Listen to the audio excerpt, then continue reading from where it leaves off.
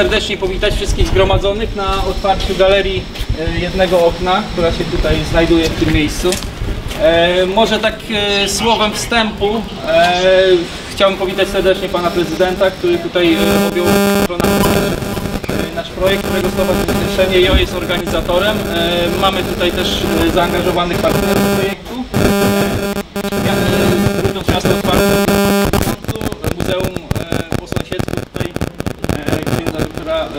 Waldysława Łęgi oraz Miejskie Przedsiębiorstwo Gospodarki Nieruchomościami, e, spółka ZOO. E, I dzięki tutaj wszystkim naszym partnerom i, i zaangażowaniu też członków stowarzyszenia i naszego pierwszego wystawcy artysty Mateusza Pawlika z Lasu Kresek e, możemy dzisiaj uroczyście otworzyć galerię jednego okna, która będzie projektem przewidzianym na rok czasu. Przez 12 miesięcy e, 12 artystów e, wystawi tutaj swoje dzieła. Lokalnych artystów chcemy tak tutaj podkreślić to, że to jest projekt kierowany zarówno do lokalnych artystów, ale też do mieszkańców, e, żeby zaangażować w tym procesie tutaj rewitalizacji sztukę, wyjść ze sztuką do ludzi, e, nie zamykać jej w muzeach, zachęcić e, do partycypacji e, społecznej mieszkańców, artystów. E, No i tutaj z tego, z tego całego założenia narodził się taki projekt, e, inspirowany trochę galerią Fasada w, w Pradze, w Czechach. Tam mamy przestrzeń e, w całej zdegradowanej elewacji kamienicy wystawową. My zaczynamy w niewielkiej skali, ale jeżeli projekt się przyjmie, jak najbardziej widzimy szansę na kontynuację. E, Dobrze, ja, ja przede wszystkim gratuluję tego pomysłu. Świetny pomysł, kolejna inicjatywa, która ożywia nam Starówkę, ożywia ulicę Spichrzową, która no, w ostatnich latach całkowicie odmieniła swój wizerunek.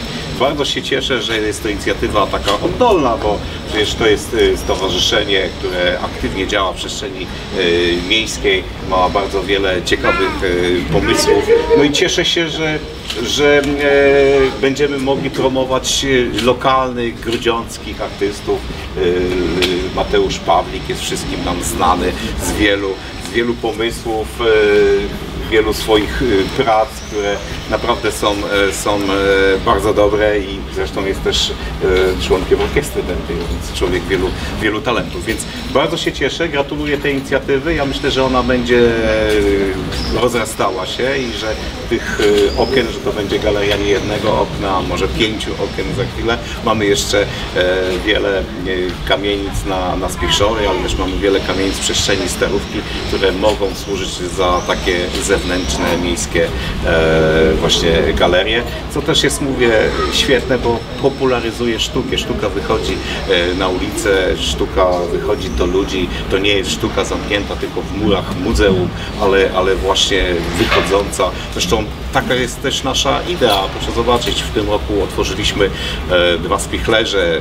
Jeden był otwarty w zeszłym roku, pozyskaliśmy w roku poprzednim kolejny, gdzie też, gdzie też e, lokalni, grudziący e, artyści mogą, mogą promować, wystawiać swoje, swoje prace. I dlatego jeszcze raz gratuluję tej inicjatywy. Ona świetnie się wpisuje e, w to, co miasto robi, ożywianie Starówki, ożywianie e, ulicy Zbiszowej. Ale myślę, że oddajmy teraz głos panu Mateuszowi, bo on tu jest dzisiaj najważniejszy. Niech opowie o tym swoim e, dziele, co ono przedstawia. To może w kilku prostych słowach. Bardzo się cieszę i dziękuję, że mogłem być tutaj pierwszy i wystawić swoją pracę. E, Zastanawiałem się długo, no bo jedna praca to jest trochę mało, jak się robi tego naprawdę sporo. Zresztą każdy pewnie twórca tak ma i miałby problem. Pomyślałem, że no chciałbym przekazać coś pozytywnego, bo y, i szukałem osób, które coś takiego mogą przekazać dalej. Myślę, że Nikola Tesla E, bo tutaj właśnie sportretowałem jego, jest dobrym przykładem. Przez całe życie e, na pewno szedł za swoją pasją. E, Tworzył, e, wymyślał, odkrywał, więc e, taki przekaz dałem za pomocą jego, a on całe życie mm, działał z elektrycznością, prądem, a prąd to fala, więc pokazałem go za pomocą Mam nadzieję, że, że odbiór będzie fajny. No myślę, że tutaj każdy, kto, kto będzie przechodził, to zauważy, żółty kolor rzuci się w oczy. Dziękuję wszystkim.